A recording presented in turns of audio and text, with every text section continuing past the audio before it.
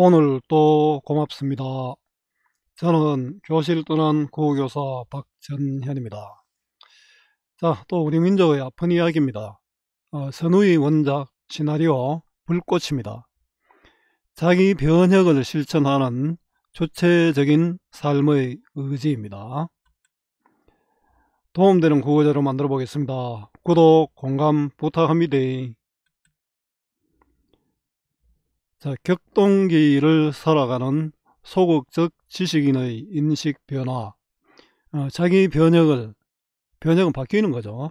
바뀌는 것을 실천하는 주체적인 삶의 의지 선우의 원작 시나리오 불꽃 해석 현은 어린 시절 삶의 자세에 대해 고민하지만 할아버지의 영향으로 현실 문제에 줄곧 소극적으로 대처하며 살아갑니다. 일본 유학에서 돌아온 현은 한국 전쟁에 참여하면서 전쟁에 대한 회의감 및 인간 생명에 대한 깨달음을 가지게 됩니다. 자, 이후 어린 시절 친구였으나 지금은 자신과 생각을 달리하고 있는 연호와 맞서며 불꽃처럼 살아갈 것을 다짐합니다. 그것도 죽으면서요. 자, 고현이라는 한 지식인을 통해 일제 강점기부터 6.25 전쟁에 이르기까지 우리나라의 비극적인 현대사를 조명하면서 인물의 현실 대응 태도를 형상화하고 있습니다. 고현은 할아버지의 의지로 현실 문제에 소극적으로 대처하는 인물이었지만 인간의 생명성에 대한 깨달음과 전쟁에 대한 회의로 연호와 맞서며 자신의 과거를 반성하면서 불꽃처럼 살아갈 것을 다짐합니다. 자, 함께 읽으면 좋은 작품 김우진의 산돼지가 있습니다. 자, 국어 공부 잘 하는 방법입니다. 국어는 외우는 것이 아니라 원리를 이해하는 것입니다. 따라서 본문 중심 공부 필요합니다. 이미 정해진 문제 유형은 2년쯤 기출 수능 학평으로 충분합니다. 문제 답 해설하는 수업 10시간 듣는 것보다 스스로 한 편 본문 정리하고 문제 풀어 보아야 합니다. 100편 문제 푸는 것보다 10편 본문 정확하게 공부해야 합니다. 요약지 보고 문제만 푸는 공부는 실패합니다. 국어는 정답을 찾는 것이 아니라 주어진 지문, 문제, 답지, 외적 증거, 자 보기로 된 상황 파악하고 가장 알맞은 답, 최적 답을 찾는 것입니다. 교과서 수특 수원 본문 중심 학습으로 문장 이해력 키워야 합니다. 문제는 자료입니다. 어, 제 자료가 최고라고 할 수 있습니다. 이해의 배경입니다. 자, 이 작품은 선우이 원작 단편소설 불꽃을 시나리오로 각색한 것입니다. 원작 소설의 내용을 거의 반영해 형성한 작품이고요. 일제 강점기부터 광복 이후 근대사의 와중에서 소극적이고 우유부단한 삶을 살아온 현이 임민군의 가혹한 인민재판을 겪고 난 후 생명의 소중함을 깨닫고 적극적인 현실 대응 태도를 지니게 되기까지의 과정을 구체화하고 있습니다. 한눈에 보기입니다. 자, 인물 정리해 보겠습니다. 고현, 민족의 순환을 상징적으로 보여주는 인물입니다. 할아버지, 할아버지는 어, 현실의 문제에 신경 쓰지 말고 니잘 살아라 이, 이겁니다. 그죠? 도피적인 숙명론과 아버지, 아버지는 일제시대 때 일본에 저항하다 일본에 의해서 죽었습니다. 어, 적극적인 저항주의죠. 사회에서 갈등하지만 할아버지의 죽음을 계기로 수능적인 삶을 버리고 현실 참여의 삶을 지향하게 됩니다. 자기도 죽습니다. 할아버지 고영감, 조상의 대를 잇는 것을 중시하는 보수적이고 폐쇄적이며 이기적인 인물로 철저한 현실주의자입니다. 그러나 마지막 그래서 가서는 우리 손자 잘 한다라고 얘기합니다. 아버지, 대의를 위해서 자신을 희생시키는 인물로 민족적 신념을 지닌 현실 참여주의자이며 저항주의자입니다. 연호, 연호는 현의 친구로 열성공산주의자입니다. 자, 현과 이념적 갈등을 일으키고요. 자신의 목적을 위해 수단 방법을 가리지 않습니다. 어머니는 현을 위해서 일생을 헌신한 전통적 여인입니다. 어, 현은 그 어, 아버지가 돌아가시고 유복자로 태어났습니다. 현과 할아버지의 관계입니다. 둘 다 의식과 행동의 변화를 보여주는 입체적 동적 인물. 자, 입체적 인물, 동적 인물은 인물의 성격이 변하는 인물입니다. 처음부터 착하다가 나중에 나쁘게 된다든가 이게 입체적 인물이고요. 착한 사람이 계속 착하면은 그거는 평면적 인물이 됩니다. 예를 들어 우리 정광영의 끝빛단니에 나오는 이인국 박사는 입체적 인물일까요? 평면적 인물일까요? 인국 박사는 일제시대에 친일을 했고 러시아 시대에 친러를 했고 미국에 들어왔을 땐 친미를 했습니다. 이러면 변격이 바뀐 것 같잖아요. 그런데 이 사람은 성격이 바뀐 것은 없습니다. 철저한 기회주의자였습니다. 그래서 이제 인국 박사는 많이 바뀐 것 같은데 바뀌지 않는 평면적 인물입니다. 작품의 주제의식인 신념의 행동화, 즉 행동주의적 사회 참여를 실천하게 되는 인물입니다. 할아버지도 소극적 삶을 지향하다 나중에는 현, 현을 보고 잘한다라고 하지 않습니까? 현도 할아버지의 삶에서 아버지의 삶으로 바뀌었죠. 자, 동굴. 아버지가 들어간 동굴. 또, 어, 여기 현이 들어간 동굴이죠. 불꽃의 상징성입니다. 동굴. 동굴은 소멸, 죽음과 재생의 공간입니다. 우리 이제 죽음의 재생의 공간이 가는 게 동굴도 있고 또 물도 있습니다. 예를 들어 김동래의 무녀도라는 작품이 있는데요. 무당이 물에 빠져 죽으면서 예술작품 무녀도라는 그림이 나왔잖아요. 그게 죽음과 재생, 소멸과 재생의 의미입니다. 현의 아버지가 돌아가신 죽음의 공간이며 어, 동시에 고 노인과 현에게 새로운 각성을 가능케 하는 재생의 공간이 됩니다. 불꽃은 친구인 연호를 향해 총을 발사했을 때 현은 생명의 불꽃을 느끼게 됩니다. 생명의 어떤 의지죠. 불꽃은 외면하거나 도피하지 않고 현실의 정면으로 맞서는 삶, 행동적인 삶의 생명력, 새로운 차원의 비약을 다짐하는 생명력이 됩니다. 자, 주요 사건 정리해 보겠습니다. 3.1운동을 주도한 아버지가 일제히에 죽고 현은 유복, 유복자로 태어납니다. 학병으로 전선에 투입된 현이 탈출하여 고향으로 돌아옵니다. 북한의 침략으로 6.25 전쟁이 벌어지고 인민군이 된 친구 연호의 도움을 연호가 이제 같이 하자 이런데 그걸 거절했죠. 연호는 인민재판의 현장에 현을 끌어냅니다. 인민재판에서 야만적 처형을 목격한 현은 연호를 치고 아버지가 죽은 동굴로 피신하고 연호는 할아버지를 앞세워 수색을 합니다. 인질로 삼은 거죠. 연호는 도망치라고 말하는 고영감에게 총을 쏘고 현도 그들을 향해 총을 쏩니다. 총을 맞은 현은 생명의 불꽃을 느낍니다. 자, 줄거리 다시 정리해 보겠습니다. 주인공 고현의 아버지는 기독교 신자로서 3.1운동 때 일경의 총을 맞고 뒤산 동굴에 피신하였다가 죽은 민족주의자였습니다. 현의 할아버지 고노이는 아들에 대한 불만을 표시하면서 손자 현에게 지극한 관심을 쏟습니다. 현은, 현의 할아버지는 니는 대를 이어야 한다 이런 거겠죠. 현의 어머니는 현실의 고통과 외로움을 극복하려는 인고의 인물로 기독교에 귀하여 아들을 보살핍니다. 현은 일본 유학 시 제국주의 찬양, 찬양론자들의 주장에 불만을 품고 귀국했다가 학병으로 끌려가게 되고 학병 탈출 후 해방된 고향으로 돌아옵니다. 여학교 교사로 근무하면서 사상적, 사상적 부조리와 혼란을 경험하고 친구 연호와 이념 문제로 대립각을 세우게 됩니다. 현은 인민재판에서 동료 여교사 조 선생의 부친이 처형당한 것을 보고 분노하여 이 과정을 주도한 연호를 치고 아버지가 죽은 동굴로 피신합니다. 현의 은시처, 은시처를 알게 된 연호는 현의 할아버지를 인질로 잡습니다. 투항을 권유하던 고노인이 태도를 바꾸자 연호는 이에 분노하여 고노인을 사살하고 현은 연호를 총으로 쏜 후 탈출합니다.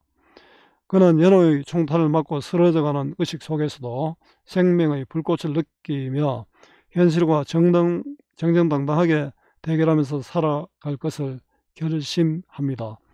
아프죠? 자, 감상하기입니다. 요 시나리오는 장면 번호가 있죠. 자, 광장 공간적 배경입니다. 인민재판이 열리는 공간적 배경입니다.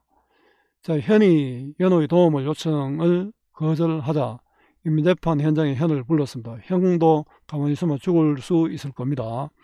연호 내 말 들으시오 동무들 요즘은 동무들 하면 되지만 선생님 어린 시절에 동무하면은 동무를 말씀은 안 됐습니다.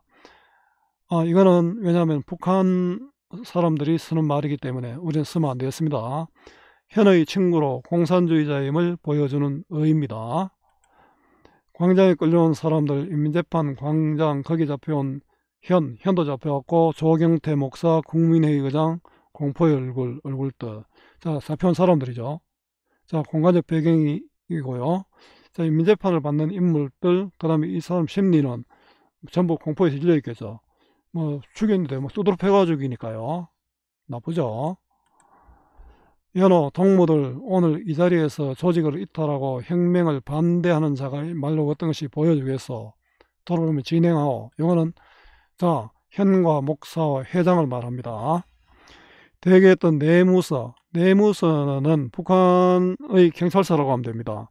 몽둥이 이거 아주 무섭죠. 몽둥이를 들고 나타납니다.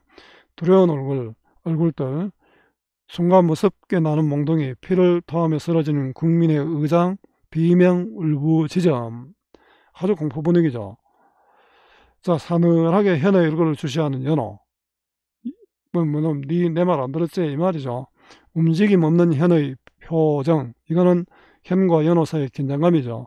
금세 시처가 돼서 끌려나가는 국민의 회장 현의 얼굴에 배는 식은 땀 이런 상황에서 긴장과 공포를 안 느끼마 거짓말이죠. 다음 차례 조 목사가 끌려 올라간다. 영순 영순은 현이 호감을 느끼고 있는 동료 교사입니다. 조 목사의 딸이죠. 아버지 아버지 미친 듯 울부짖는 영순 사늘이 지키는 연호 어, 아마 이 사람들은 서로 아는 사이일 겁니다. 자 영순 조 목사의 딸로 현이 좋아하는 동료 교사고 자 연, 영순과 연호의 대비를 통해서 근데 그 영순은 울부짖는데 연호는 아주 차, 차분하잖아요. 연호의 냉정한 성격을 보여줍니다. 조 목사의 머리를 강타하는 몽둥이. 자, 인민재판을 통해 국민의 회장과 조 목사를 처단한 연호. 영순은 악, 악 아버지. 뭐 미치겠죠.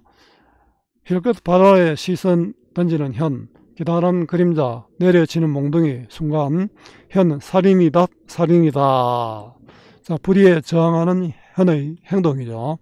wal칵 돌아보는 연의 얼굴 그 얼굴에 정오를 모은 현의 주먹이 무섭게 떨어지며 연호에 대한 현의 분노죠. 얼굴을 한번 날렸다 그죠? 이놈 살인이다. 쓰러지는 동시에 왈칵 아, 퍽 쓰러, 픽 쓰러진 동시에 왈칵 열대인 놈 소총을 빼앗아 드는 현. 응, 어, 자, 놀라는 얼굴, 얼굴도. 이거는 현의 용기 있는 행동에 놀란 사람들이죠. 순식간에 일어난 일, 벌써 비호처럼, 나라, 호랑이처럼, 어, 내뛰는 현의 모습, 뛴다, 잡아라. 탕탕, 귓전을 울리는 총성, 휘청 다리를 맞고 쓰러진 현, 벌컥 일어나 절뚝절뚝 달린다. 벌집 수신 광장, 장터는 수라장. 자, 연호를 치고 때리고 장터에서 도망치는 현입니다. 자, 중요한 부분은 이런 내용입니다. 장터에서 도망친 현은 3.1운동 때 아버지가 일제에 맞서다 죽음을 맞이했던 동굴로 피신합니다. 연호는 현의 할아버지인 고영감과 현의 어머니를 끌고 동굴 앞에 와서 현을 굴복시키고자 하지만 고영감은 동굴 앞에서 현에게 이곳에서 도망쳐서 살아야 한다고 말하고 연호는 그런 고영감을 총으로 쏩니다. 자, 아버지는 독립운동을 하다가 죽은 아버지고요. 연호와 협력을 거부하고 현을 살리려는 할아버지 희생이죠. 자, 불의에 저항하다 죽은 아버지의 삶과 목숨을 지키는 일 중 아버지의 저항적 삶을 선택했습니다. 동그라미입니다. 현 할아버지, 할아버지가 지금 총을 맞았잖아요. 할아버지가 총을 맞자 절규하는 현입니다. 총을 들고 절규 뛰어나가려는 순간 턱 앞을 가로막는 자 불이한 현실에 대한 저항, 저항이죠. 저건 탁 가로막는 것은 구체적 실물이 아니라 머릿속에 떠오른 이미지입니다. 할아버지 만류 이런 게 되겠죠. 이미지. 자, 또 이미지는 현의 머릿속에 떠오르는 것입니다. 이거는. 검고 크게 압박하는 그 굳은 껍질의 환영. 자, 이거는 껍질의 환영은 불의한 현실을 외면하라는 요구로 자, 현의 행동을 저지하는 심리적 기제입니다. 순간 그것에 놀랍게도 붉고 붉은 불덩어리가 그것이 이 환영이 붉고 붉은 불덩어리 이거는 불의의 현실을 저항하려는 현의 심리와 의지입니다. 화면이 깨질 것 같은 찢어지는 소리와 함께 거대한 불덩어리가 하늘 가득히 확산되면서 슬로우 모션 이름으로써 또 긴장감이 생기죠. 불의의 현실에 저항하려는 현의 의지입니다. 자, 계곡입니다. 이하 슬로우 모션. 슬로우 모션은 좀 천천히 진행되면서 좀 비장한 모습, 긴장된 분위기가 나, 타납니다 자, 소리를 지르며 동굴에서 뛰어나, 뛰어나오는 현, 천천히 달리는 거 천천히 슬로우 모션을 보여주면 더 그렇죠? 총을 들어 쏜다. 응사하는 괴뢰군들. 한 발은 불발 탄 튀어나오는 현 다시 쏜다. 한 놈이 쓰러진다. 현의 어깻죽지에 한 발 맞는다. 그대로 뛰어나오는 현. 총을 맞고 뛰어나오죠. 또 한 놈이 쓰러진다. 연호가 쏜다. 가슴에 맞는 현. 그래도 달려나오며 연호를 쏜다. 가슴에 피를 뿜며 쓰러지는 연호. 그 여기까지 슬로우 모션. 자, 할아버지를 구하기 위한 적극적인 저항이죠. 죽음을 두려워하지 않는 현. 슬로우 모션으로 긴장감, 극적 상황을 조성, 조성하고 있습니다. 고향은 넘어지며 그놈 잘한다. 자, 현에 대한 격려와 이해죠. 지금까지 할아버지 태도와는 다르죠.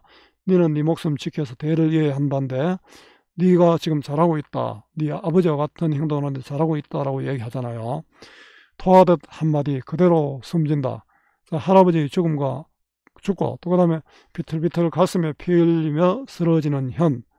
자, 현의 쓰러짐입니다. 동굴을 뛰어나오며 튀어나오며 총을 쏴 연호를 쓰러뜨리는 현입니다. 자, 이미지입니다. 확산되어 흩어지는 무수한 불덩어리 조각. 이것도 슬로우 모션이죠. 현의 저항 의지의 확산을 형상화하는 겁니다. 하늘을 향해 쓰러지는 현 멀거니 뜬 눈. 이미지입니다. 확산되는 불꽃의 수많은 조각 슬로우 모션 그 찢는 듯한 음향 아 음향, 아, 거기 넓은 꽃밭, 아스라이 일어나는 뭉게구름, 백마를 타고 달려오는 현, 포진, 어, 하늘을 향해 두 발을 들고 우짖는 백마, 창을 비껴든 현의 모습, 꽃밭 속을 달려오는 현모와 영순, 아니 그것은 아름다운 천사, 현의 백마, 구름 속을 달려간다. 그 찬란한 세계. 자, 이거는 환상의 이미지를 통해 현이 지향하는 세계의 모습을 드러내고 있습니다. 찬란한 세계 속에 백마를 타고 달려가는 현입니다. 쓰러져 있으면서 이렇게 적겠죠.